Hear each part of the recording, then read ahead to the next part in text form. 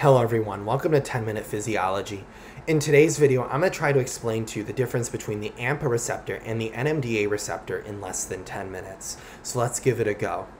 So I'd like to start off by first looking at the neuron, and what we're going to do is we're going to zoom in at the synaptic terminal.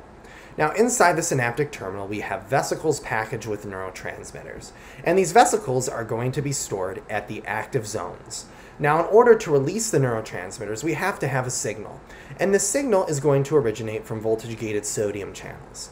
Now as action potentials propagate down the axon, voltage-gated sodium channels open, allowing sodium to flow into the cell, which will depolarize the synaptic terminal, which will therefore open voltage-gated calcium channels, increasing the intracellular calcium level, which will therefore facilitate the fusion of the vesicle with the presynaptic membrane, allowing the release of neurotransmitters into the synapse.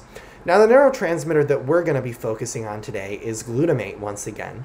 And remember that glutamate can bind to three different receptors, but the two main receptors that it will bind to are the AMPA receptor and the NMDA receptor. Now in my previous video, we talked in great detail about what the AMPA receptor was and what its effects are when glutamate bound to it. Now, in order to understand this video, you have to have a good understanding of the AMPA receptor. So if you don't know what the AMPA receptor is or what its effects are, please go see my previous video in my channel. It's only like around seven minutes, so it's not going to take too much of your time. So let's now take a look at the two receptors, the AMPA receptor and the NMDA receptor. Now what we're going to focus on is basically their effects on the membrane potential when they open. And we're going to be looking at their effects at two different cell membrane potentials. The first membrane potential we're going to be looking at is when the cell is starting off at negative 70 millivolts. Now what we're going to be doing is we're going to be looking at the relative level of depolarization that the open channels will cause when glutamate binds to it. So let's look at the AMPA receptor first. So this right here shows the contribution of the AMPA receptor to the membrane potential. And what we see here is that when the AMPA receptor opens, which would be around right here, the AMPA receptor will facilitate an inwards depolarizing current, which would therefore cause the cell to depolarize. And then once glutamate leaves the synapse or diffuses out of the synapse or gets broken down, the AMPA receptor will start to close, which will cause the cell to go back to the resting potential. So what would we expect for the NMDA receptor? So this blue line is showing you the NMDA receptor when it opens. And the first thing that you should note is that the NMDA receptor opens more slowly than the AMPA receptor. The second thing that you should note is that the NMDA receptor, like the AMPA receptor, also causes a depolarization at this membrane potential. However, the relative contribution to the membrane potential is going to be less. In other words, the NMDA receptor, when it's open, will depolarize the cell less than the AMPA receptor when it's open at this particular membrane potential. So now let's take a look at the relative contributions of the two open receptors at a more depolarized membrane potential. And this membrane potential will be around negative 30 millivolts. So let's take a look at the relative contribution of each open receptor. So this green line once again shows the AMPA receptor. And what you see, should see here is that the depolarization caused by the opening of the AMPA receptor is less in this cell when it's negative 30 millivolts than it was at the resting potential of negative 70 millivolts. And this is because we are approaching the reversal potential. Remember that when the remember that the reversal potential for the AMPA receptor is around 0 millivolts. And when we're below that reversal potential of 0 millivolts, so in other words when we're more negative, the AMPA receptor, when it's open, will cause the cell to depolarize. And as we get more and more negative, the net inward current will basically increase, which will therefore cause an increase in the level of depolarization. So as we approach the level of zero millivolts in the cell and become less negative, the net inward current will decrease, and therefore there will be less depolarization caused by the AMPA receptor. Now the NMDA receptor also has a reversal potential of zero millivolts. So what we would expect before we see the results is a similar sort of thing that the inward current would decrease through the NMDA receptor, so therefore the level of depolarization caused by the opening, opening of this receptor would decrease as well. So what do we really see when we do this experiment? So what we see in this experiment is actually contrary to our expectations. What we see in this cell compared to the more negative cell is that the net inward current through the NMDA receptor in this slightly depolarized cell is actually greater than it was when the cell than when the cell was at rest. So what is going on here? Well, in order to understand what is going on, we have to look at the NMDA receptor itself. So here is the postsynaptic cell, and here is the NMDA receptor.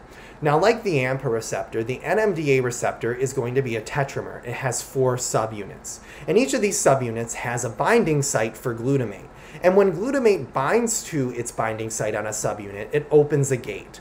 So therefore, the more glutamates that bind to an NMDA receptor, the more gates that are open and the greater the current passing through it. So the NMDA receptor will pass the maximum amount of current when four glutamates are bound to it. So when this NMDA receptor is open, what is the effects? Well, like the AMPA receptor, the effects are going to largely be determined by the membrane potential.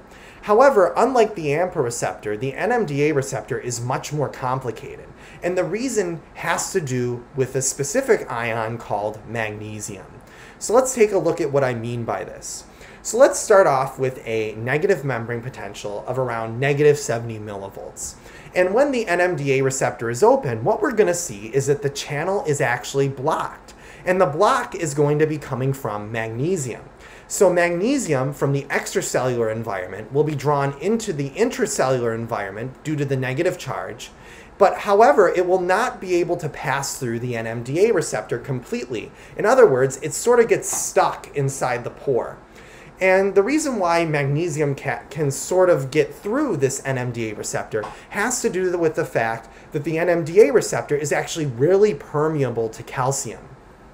The NMDA receptor is much more permeable to calcium than the AMPA receptor. And since magnesium is in the same chemical group as calcium, this NMDA receptor will be able to allow magnesium to pass through it through a certain extent.